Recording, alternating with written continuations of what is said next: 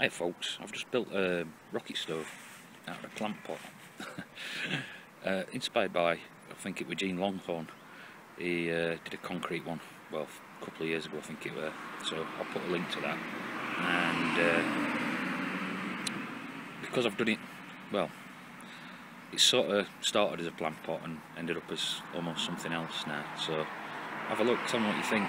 Any uh, suggestions and ideas are welcome. Comments as well, like uh, as I say, started as a rocket heater and might end up as an oven. I hope.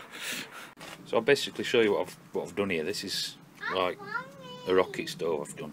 This is only it is only four inch. I'd go for six inch. It's nice and warm now because because I was burning it. It's uh, it's just half past twelve now, so it's handleable. And the guy did it in, in a plastic bucket, one of the guys, uh, I'll put his name up, but he did a plastic bucket a couple of years ago. But I liked the idea of these, and I had a plant pot and some cement and some vermiculite, so I thought I'd give this a pop. It works quite well, as you'll probably see in a minute. But what I did, and I thought, well, I wanted more draw on it, so these are just a couple of cans what I've pressed together and then I thought well I've got this other plant pot. And working out like thinking about them greenhouse heaters with plant pots and stuff I thought I got got that in my head. But what I'm thinking about now I like the J shape of the inlet. So what I'm thinking about is cutting that and fitting it to the side and having that as me having there to feed my wood and having burn burning across and under and up uh, I might do another one a little bit well I might have a look see how much it, stuff is and make a bit one that's quite a bit bigger. But I've also because I've been playing with this now my old barbecue could do with a refurb and I'm thinking I wonder if well I know I can. If I play with this and get it running right I'm going to build an oven and a, and a grill into me or a hot plate into me barbecue. I'll give you a look at that. Now, this is old you look. Old barbecue. I built this about eight years ago, but you've got to have a very big fire. Well, you do have to have a very big fire in it, and a lot of bricks have cracked up. So what I'm thinking is, if I can put sort of a rocket stove burner underneath. No. This is cracked, so I could take this slab out uh, but if I could put a rocket burner underneath, insulate it, have sort of maybe even some sort of oven at that height, I don't know. Run hot air around it and have that running under a plate. Yeah, a spider, I know. Having, having that running under a plate in here, this area, and then obviously I've got a grill there and an oven somewhere in between.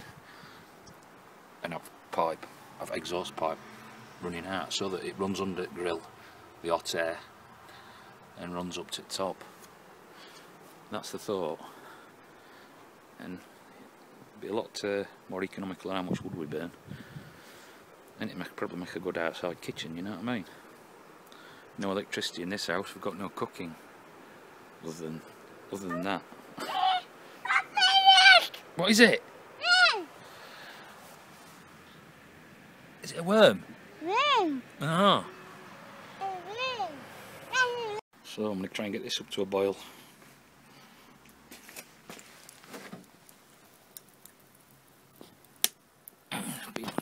About a minute and the time is now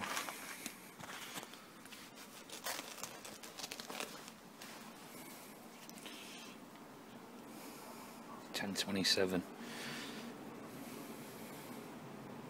See that 1027 so see how it goes. How long it takes. I ain't got any dry sticks. I'm just having to chop some bits of scrap from garage because the weather is so fantastic. So it's now 1046 found a bit more wood that was dry. And it's just about there onto a rolling boil. I can't see how much water there's in there to be honest I just thought I'd see how long it'd take. And what I'd do if I do this again well I will do this again. And have a bit of a play around with this and experiment with it but that's nice and warm now. That's nice and warm now. I'm wondering if I'm going to see if I'm, well I need a meat thermometer. I'm going to put a meat thermometer inside there and see if I could use it as sort of an oven as well. As well as an hot plate you know. I'd extend that and put a bigger this is only about this is not the yeah the width of the hole it's about 4 inch so 6 inch would be a lot better. Bigger pots. And it doesn't look bad on the patio.